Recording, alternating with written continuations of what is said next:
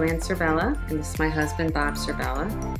And we're recent owners of the Michael Cahill Bed and Breakfast. We purchased the property in May of this year.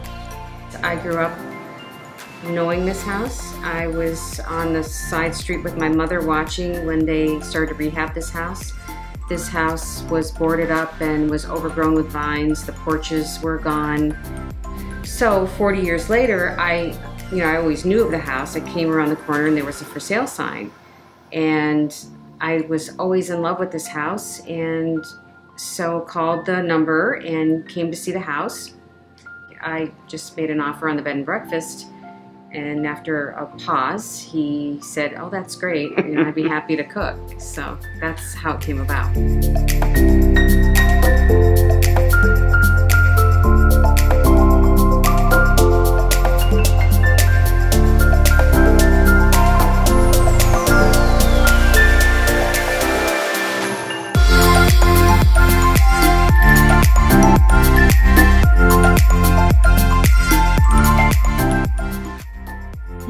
Different folks, whether they're in town for a class reunion or a marriage or just to see old family members or whatever, to sit down and talk to them, it's been a lot of very enjoyable. And we've always entertained. We always are, we're the house that hosts all of the parties, the holidays, and so it just was natural for us. It, it's, No. it's been a lot of fun. Yeah, no, it, it, it has been. Yeah, no regrets at all.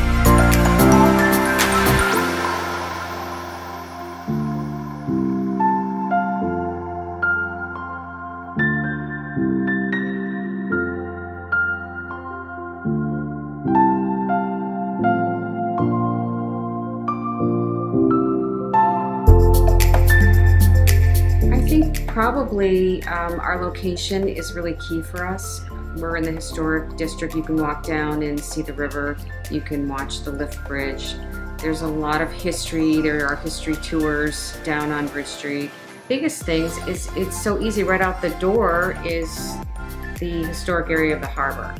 There's um, boutique shopping down there. There are so many restaurants. Everything is handmade in these restaurants.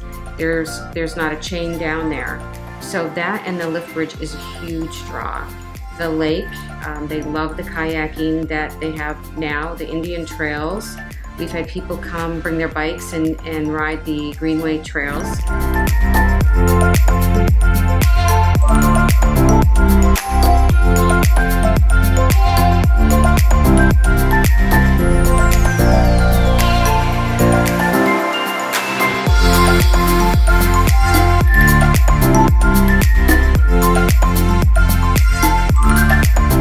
TripAdvisor. Um, they could Google bed and breakfast. We also um, keep a Facebook page. There's also a chamber, um, business chamber that we we are we're listed on that as well. Um, so several places like that.